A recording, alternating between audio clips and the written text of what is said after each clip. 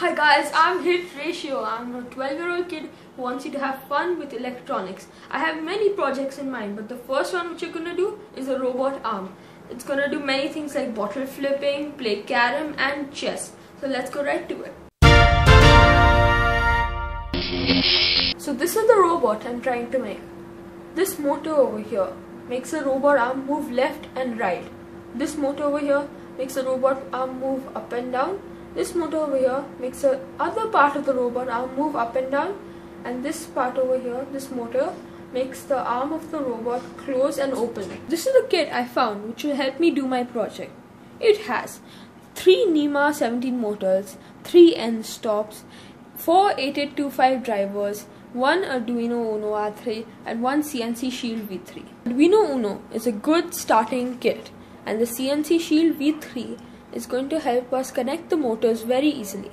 This kit also comes with 4 TI-8825 drivers.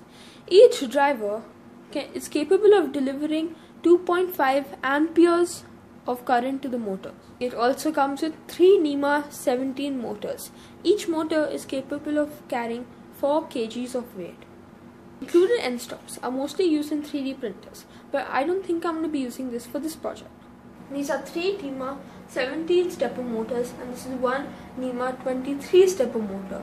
We got this NEMA 23 stepper motor as an extra because we'll be needing it in our project. 23 and 17 is the size of the motor in inches. This is 2.3 inches and this is 1.7 inches. Motors are perfect for robots because they allow fine control over rotation and this video on YouTube shows us how a stepper motor works very nicely. Let's start making this robot. This is the CNC V3 and this is the Arduino Uno board. I'm going to put the CNC V3 on the Arduino Uno board. The pins have to align perfectly.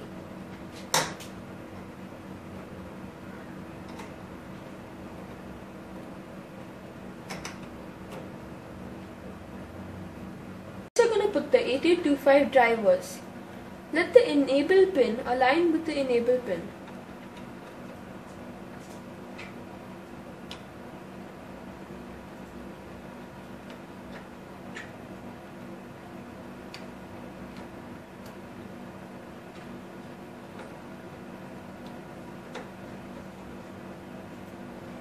Don't forget to put the heat sink on the 8825 driver or the 8825 driver will overheat.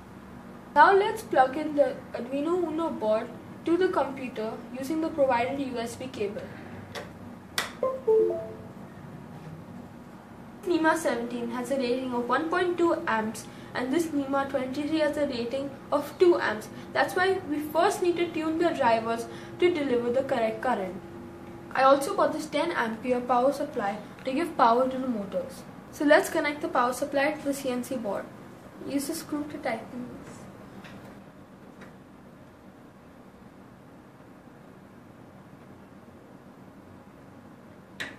Since the motor's rating is 1.2 amps, we need to tune the driver to 1.2 amps.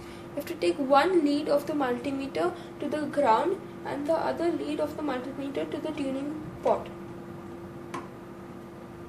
You can see here it's 1.6 volts. If you double it, it becomes 3.2 amps. For this we need 1.2 amps so we need to reduce it down to 0.6 volts.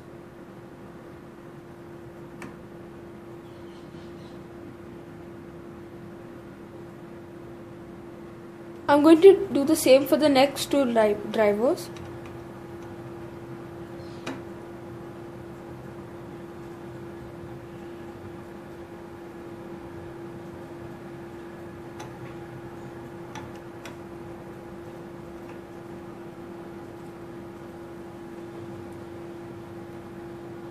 NEMA 23 is rated 2 amps so we need 1 uh, volt to make it that.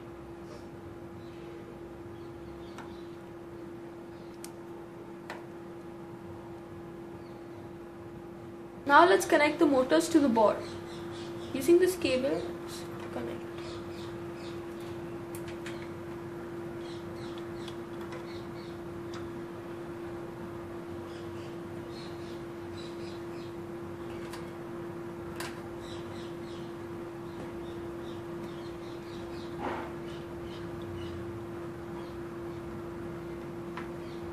Our board is now fully connected guys that was lots of fun today if you like where I'm heading, hit the subscribe button, turn on your notifications for further videos I'll be posting. In the next video, I'm going to show you how to load up software and make the motors work. Thank you for watching.